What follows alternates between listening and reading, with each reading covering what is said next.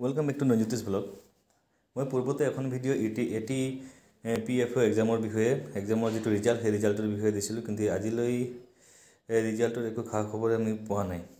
আৰু এইটো যিটো আপোনালোকৰ ৱেবছাইট অফিচিয়েল ৱেবছাইট দেখিবলৈ পাইছে A T E P F O' এক্সামৰ যিটো ৱেবছাইট এই ৱেবছাইটখনতো কোনো ধৰণৰ এতিয়ালৈ ৰিজাল্ট সম্বন্ধে কোনো ধৰণৰ নটিফিকেশ্যন অহাই নাই। কেতিয়া দিব ৰিজাল্ট সেই বিষয়ে কোনো খবৰ অহাই নাই।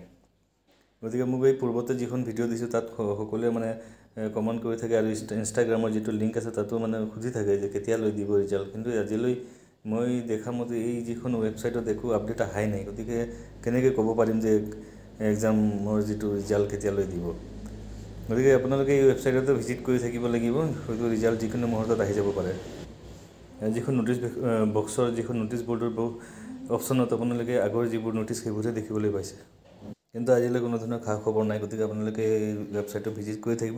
ৱেবছাইট ভিজিট কৰি থাকিলে যেতিয়া ৰিজাল্ট দিব তেতিয়া আপোনালোকে পাই যাব। গতিকে যদি ভিডিঅ'টো ভাল পাইছে লাইক কৰিব আৰু চেনেলটো যদি ছাবস্ক্ৰাইব কৰা নাই ছাবস্ক্ৰাইব কৰি থ'ব টিল দেন কিপ ৱাচিং জ্যোতিষ ব্লগ গুড বাই